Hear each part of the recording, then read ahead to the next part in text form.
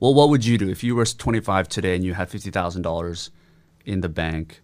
Would you invest it back into yourself with your education because that amount of money is not going to do that much like Yeah. damage in the market or Uh, real yeah. estate or or is it and is that, is it different if you had five hundred thousand dollars? No. No. idiots are idiots, you know. That's why, you know, most guys, was it every, most major league athletes are broke within six years or something. They lose everything. Sure. Or a lottery winner. Yeah, because money never makes you rich. And so the thing is to invest in your life experiences, your mentors. So the story of Rich Dad, Poor Dad is choosing between two different teachers. Mm. You know, if I followed my poor dad, I'd probably be a government employee in Hawaii, you know, or a tenured teacher. Yeah. So it's it's a hard choice. Uh, You got to choose your teachers wisely and your life experiences. Like we were talking about, I, I took you know three companies public through Toronto. I mean, through first through VC, Vancouver Stock Exchange, and I had to uh, mi- migrate to the Toronto Stock Exchange. Why did I do that? To learn learn to how how to raise capital on public markets. Now the average entrepreneur never does that. You know, they keep open their pizza shop and they open two pizza shops. And that's that's about it because they're in it just for the money.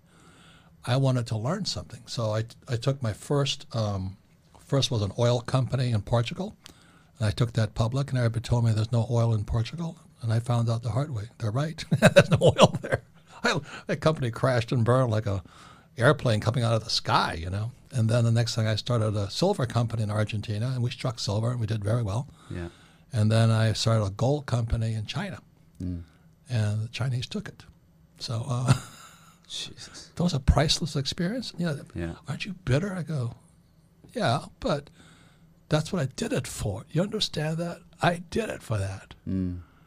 So you're saying people that have, let's say, 50,000, 100,000, they should just go out there, Look for a teacher and look for experiences. so education, take risks, Real life make, make mistakes. Yeah. Gotcha. Gotcha. Don't worry about like making 10% in the stock market, you're saying, with that no, money. that's a waste of time. I mean, uh, it depends on you. I don't Sure. need stock market to make money. I got that to raise capital, but not to make money. Mm-hmm. So there's all, all there's so much to learn. That's that's the biggest problem. So like I said, you know, the guy pushing drugs on the street, he's no different than Jeff Bezos with Amazon, just the scale. right. One's legal, one's not. no, no, once no, those guys bigger than Bezos in drugs. Mm. Trust me. Yeah. yeah. And. I run into them. Do you? Oh yeah, How? Jesus. The world's filled with those guys. So as you travel, Yeah, you just you just bump in. My father ran for a political office. He ran for lieutenant governor, the poor dad,